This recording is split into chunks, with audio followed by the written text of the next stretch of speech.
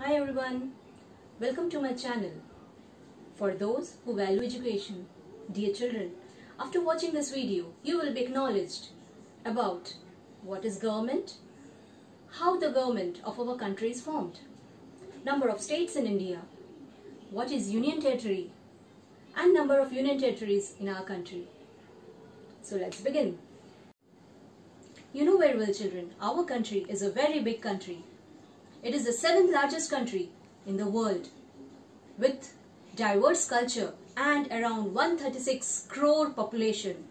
Now, somebody should be there to take the responsibility of safety, security and welfare of the people of our country.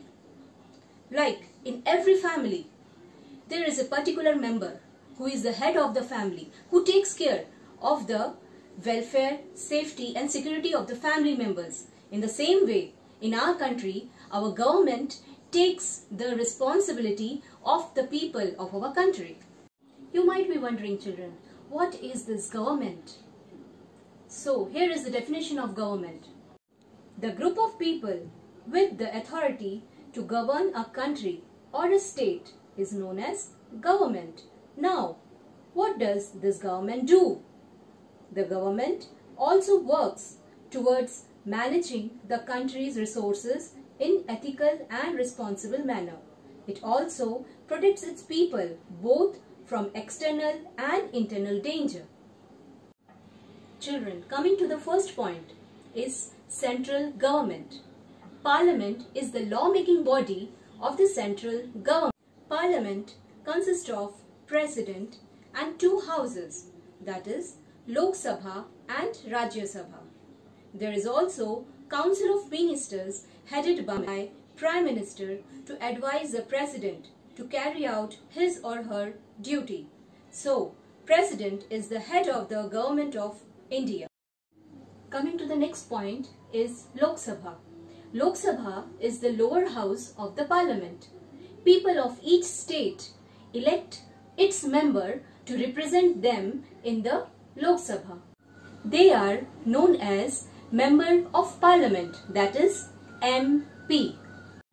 They are elected for specific period of 5 years and again after 5 years a fresh election is held for next 5 years.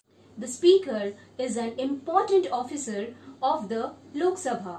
He or she conducts the proceeding of the Lok Sabha.